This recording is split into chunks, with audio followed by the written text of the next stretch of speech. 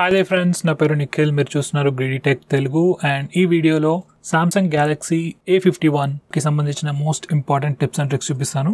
By the way ఈ ఫోన్కి నేను బెస్ట్ ఫీచర్స్ వీడియో కూడా చేస్తాను. ఆ వీడియోలో ఈ ఫోన్కి సంబంధించిన అన్ని ఫీచర్స్ చూపిస్తాను. సో ఆ వీడియో కూడా తప్పకుండా చూడండి. లింక్ డిస్క్రిప్షన్లో ఉంటుంది. So first full screen gestures చూద్దాం. ఫస్ట్ టైం మనం ఫోన్ని కాన్ఫిగర్ చేసినప్పుడు మనకి default three button navigation bar ఉంటుంది.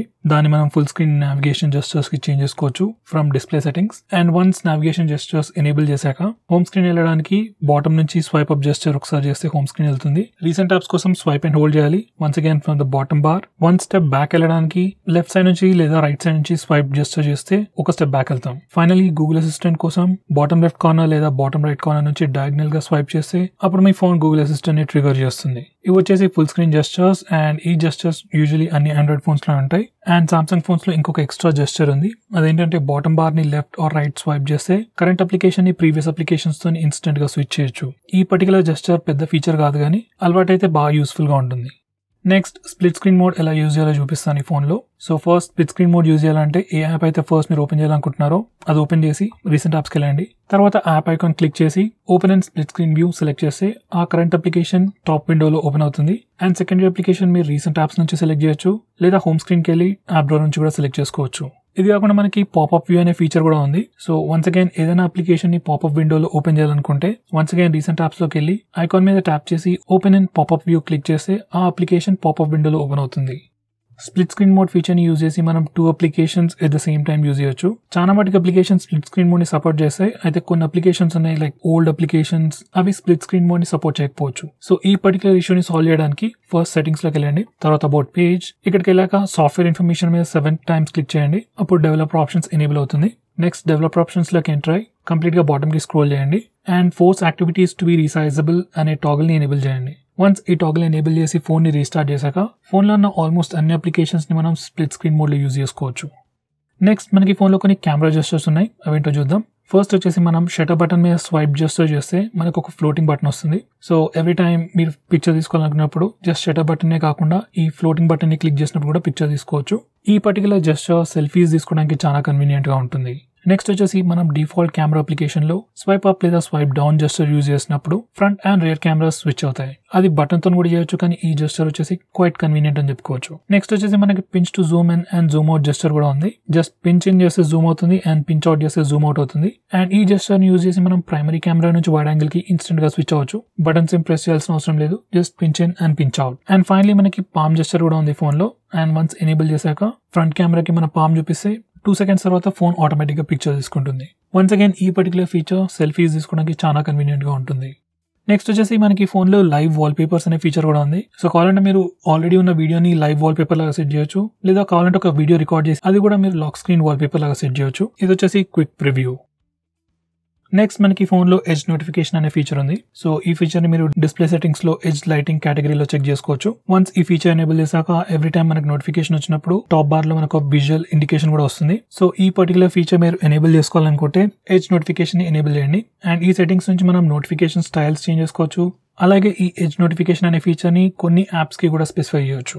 లైక్ ఓన్లీ వాట్సాప్కి ఎలాంటి నోటిఫికేషన్ కావాలనుకుంటే సెట్ చేసుకోవచ్చు. అండ్ వేరే ఏ అప్లికేషన్ నుంచి నోటిఫికేషన్ వచ్చినా ఈ పర్టికులర్ ఫీచర్ పనిచేయదు. సో ఓవరాల్గా ఫ్యాన్సీ ఫీచర్ అని చెప్పుకోవచ్చు.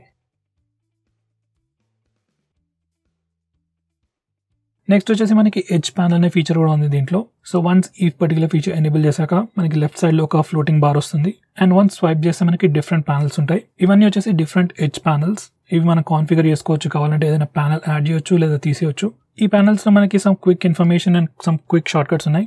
లైక్ వెదర్ ఇన్ఫర్మేషన్ చెక్ చేసుకోవచ్చు స్టాక్స్ ఇన్ఫర్మేషన్ అలాగే స్ప్లిట్ స్క్రీన్ మోడ్కి సంబంధించిన సమ్ క్విక్ షార్ట్ కట్స్ కూడా ఇక్కడ పెట్టుకోవచ్చు. సో ఇవన్నీ డిఫరెంట్ ప్యానల్స్ ఉంటాయి అండ్ మీకు కావాల్సిన విధంగా కాన్ఫిగర్ చేసుకోవచ్చు.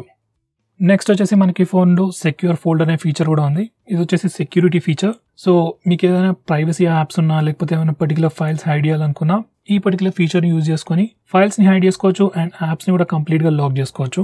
అయితే ఈ పర్టికులర్ ఫీచర్ చాలా హెవీగా ఉంటుంది. అంటే ఈ పర్టికులర్ ఫీచర్ మీరు ఎనేబుల్ చేస్తే ఫోన్ స్లైడ్గా స్లో అయ్యే ఛాన్సెస్ ఉన్నాయి. సో పర్సనల్ అయితే నేను ఈ పర్టికులర్ ఫీచర్ని రికమెండ్ చేయను. ఇన్ కేస్ మీరు ఫైల్స్ని హైడ్ చేయాలనుకుంటే గ్యాలరీ వాల్ట్ లాంటి యాప్స్ యూజ్ చేయొచ్చు.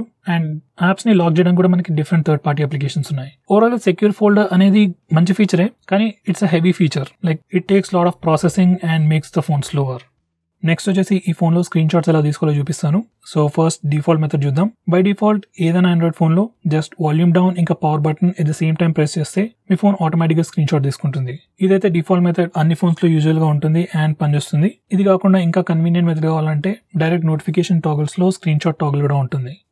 నెక్స్ట్ మనకి ఈ ఫోన్లో palm just to take a screenshot కూడా ఉంది. అండ్ వన్స్ ఈ ఫీచర్ ఎనేబుల్ చేశాక జస్ట్ స్క్రీన్ మీద పామ్ తోని ఒక స్వైప్ జస్ట్ చేస్తే మీ ఫోన్ వన్స్ అగైన్ ఆటోమేటిక్గా స్క్రీన్ షాట్ తీసుకుంటుంది. ఈ పర్టికులర్ ఫీచర్ చూడడానికి ఫ్లాషీగా ఫ్యాన్సీగా ఉండొచ్చు.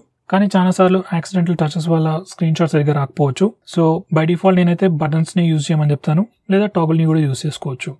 నెక్స్ట్ మనం మీ ఫోన్లో లాంగ్ స్క్రీన్ షాట్ కూడా తీసుకోవచ్చు. అండ్ దానికోసం ఫస్ట్ మనం రెగ్యులర్ స్క్రీన్ షాట్ తీసుకోవాలి. So once again buttons use చేయొచ్చు లేదా పామ్ జెస్టర్ని యూజ్ చేయొచ్చు. అండ్ వన్స్ స్క్రీన్ షాట్ తీసుకున్నాక మనకి కింద కొన్ని ఎక్స్ట్రా ఆప్షన్స్ వస్తాయి. దాంట్లో టేక్ లాంగ్ స్క్రీన్ షాట్ అనే ఆప్షన్ కూడా ఉంటుంది. జస్ట్ అది క్లిక్ చేస్తే మనం లాంగ్ స్క్రీన్ షాట్ తీసుకోవచ్చు.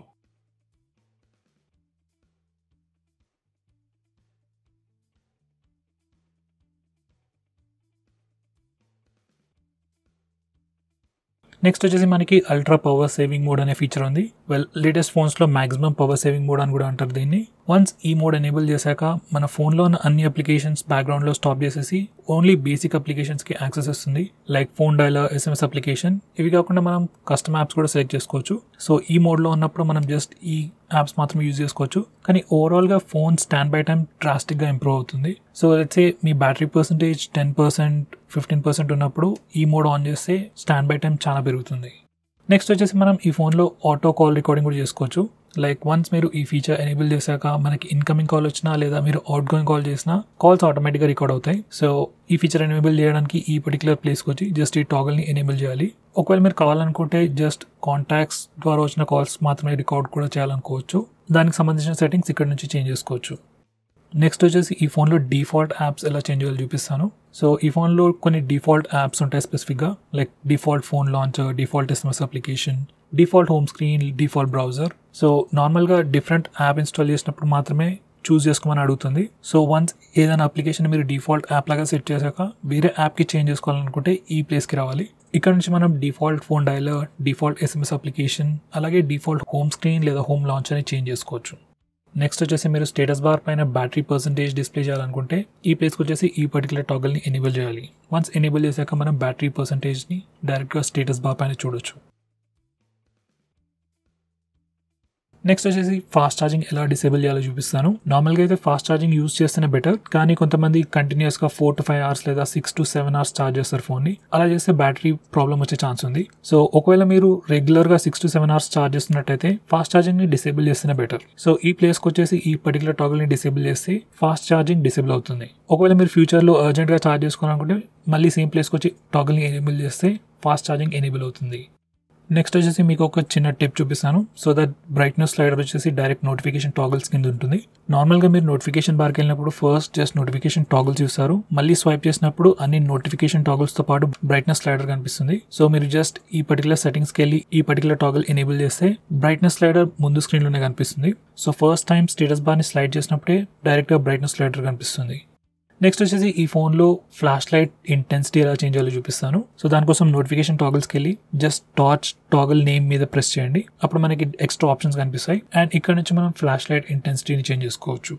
నెక్స్ట్ వచ్చేసి మనకి ఫోన్లో కొన్ని క్విక్ సెట్టింగ్స్ కూడా ఉన్నాయి. లైక్ ఆల్మోస్ట్ అన్ని ఆండ్రాయిడ్ ఫోన్స్లో జస్ట్ నోటిఫికేషన్ టాగల్ని మనం అయితే ఎనేబుల్ చేయొచ్చు లేదా డిసేబుల్ చేయొచ్చు. కానీ ఈ ఫోన్లో మనం నోటిఫికేషన్ టాగల్ పేరు మీద క్లిక్ చేసినప్పుడు మనకి కొన్ని ఎక్స్ట్రా ఆప్షన్స్ కనిపిస్తాయి. లైక్ వైఫై మీద క్లిక్ చేస్తే వైఫై కనెక్షన్స్ అని చూపిస్తుంది. బ్లూటూత్ మీద క్లిక్ చేస్తే బ్లూటూత్ పే డివైసెస్ అని చూపిస్తుంది. అలాగే ప్రతి దానికి మనకి కొన్ని ఎక్స్ట్రా ఆప్షన్స్ కనిపిస్తాయి. సో ఇంతకుముందు చూపించినట్టు ఫ్లాష్ లైట్కి బ్రైట్నెస్ ఇంటెన్సిటీ చేంజెస్ ఆప్షన్ కనిపించినట్టు డిఫరెంట్ టాగల్స్కి డిఫరెంట్ ఆప్షన్స్ కనిపిస్తాయి. సో ఇది కూడా మీరు తప్పకుండా యూజ్ చేయండి. నెక్స్ట్ వచ్చేసి మనం కొన్ని హోమ్ స్క్రీన్ జస్టర్స్ చూద్దాం. ఫస్ట్ వచ్చేసి నోటిఫికేషన్ బార్ జస్టర్స్ చూద్దాం. సో నార్మల్గా మీరు స్టేటస్ బార్ నుంచి సింగిల్ ఫింగర్తో స్వైప్ డౌన్ జస్టర్ చేస్తే డైరెక్ట్గా నోటిఫికేషన్ ఏరియా దగ్గర తీసుకెళ్తుంది. అదే మీరు టూ ఫింగర్స్తో స్వైప్ చేస్తే డైరెక్ట్గా నోటిఫికేషన్ టాగల్ సెక్షన్ దగ్గర తీసుకెళ్తుంది. నెక్స్ట్ హోమ్ స్క్రీన్ జెస్టర్స్ చూద్దాం. సో బై డిఫాల్ట్ మనం హోమ్ స్క్రీన్ పైన స్వైప్ అప్ లేదా స్వైప్ డౌన్ జెస్టర్ యూజ్ చేసినప్పుడు ప్రతిసారి అది మనకి యాప్ డ్రా అనే చూపిస్తుంది. సో వన్స్ ఈ టాగల్ ఎనేబుల్ చేశాక హోమ్ స్క్రీన్ పైన స్వైప్ డౌన్ జెస్టర్ యూజ్ చేసినప్పుడు డైరెక్ట్గా నోటిఫికేషన్ ప్యానల్ కిందకి లాగుతుంది. అలాగే స్వైప్ అప్ జెస్టర్ యూజ్ చేసినప్పుడు సేమ్ యాప్ డ్రా ఓపెన్ అవుతుంది. నెక్స్ట్ వచ్చేసి మనం ఈ ఫోన్లో యాప్స్ని కూడా హైడ్ చేయొచ్చు. దానికోసం ఫస్ట్ మనం హోమ్ స్క్రీన్ సెట్టింగ్స్కి వెళ్ళాలి. తర్వాత హైడ్ యాప్స్ అండ్ ఇక్కడ నుంచి ఏవైతే యాప్స్ మీరు హైడ్ చేయాలనుకుంటున్నారో జస్ట్ సెలెక్ట్ చేసి హైడ్ ప్రెస్ చేస్తే ఈ యాప్స్ అనేవి హైడ్ అవుతాయి. ఈ ఫీచర్ వచ్చేసి జస్ట్ ఎంట్రీ లెవెల్ ఫీచర్. ఈ హోమ్ లాంచర్లో ఈ యాప్స్ కనిపించవు. కానీ ఒకవేళ మీరు different third party launcher install చేసుకుంటే ఆ లాంచర్లో అన్ని యాప్స్ మళ్ళీ కనిపిస్తాయి. అండ్ ఈవెన్ మీరు అప్లికేషన్స్ హైడ్ చేసినా డైరెక్ట్గా ప్లే స్టోర్ నుంచి మళ్ళీ వాటిని యాక్సెస్ చేసుకోవచ్చు. So it's not a complete solution but home స్క్రీన్లో యాప్స్ హైడ్ చేసుకోవాలనుకుంటే ఇది ఒక నైస్ కన్వీనియంట్ వే. నెక్స్ట్ వచ్చేసి వాల్పేపర్ సర్వీసెస్ని ఎలా డిసేబుల్ చేయాలో చూపిస్తాను. ఫస్ట్ ఇది వచ్చేసి lock screen and by default మనం ప్రతిసారి లాక్ స్క్రీన్కి వెళ్ళినప్పుడు మనకి డిఫరెంట్ వాల్పేపర్ వస్తుంది. ఇది వచ్చేసి లాక్ స్క్రీన్ వాల్పేపర్ సర్వీస్ కొంతమంది నచ్చొచ్చు కొంతమంది నచ్చకపోవచ్చు. సో ఒకవేళ మీరు ఈ ఫీచర్ని డిసేబుల్ చేయాలనుకుంటే ఫస్ట్ సెటింగ్స్కి వెళ్ళి లాక్ స్క్రీన్ వాల్పేపర్ సెక్షన్లోకి వెళ్ళాలి. అండ్ జస్ట్ ఈ టాగ్ని డిసేబుల్ చేస్తే లాక్ స్క్రీన్ వాల్పేపర్ సర్వీస్ కంప్లీట్గా డిసేబుల్ అవుతుంది. ఒకవేళ మీరు ఈ ఫీచర్ని యూస్ చేయాలనుకుంటే ఈ సెటింగ్స్ నుంచి మీరు ఇంకా ఫర్దర్గా కస్టమైజ్ కూడా చేసుకోవచ్చు. సో ఫ్రెండ్స్ ఇవి వచ్చేసి ఈ ఫోన్లో ఉన్న most important tips and tricks ఒకవేళ నేను ఏవైనా మిస్ చేస్తుంటే ఈ వీడియో కింద కమెంట్ చేసి తెలియజేయండి. With that said this is Nikhil signing off see you in my next video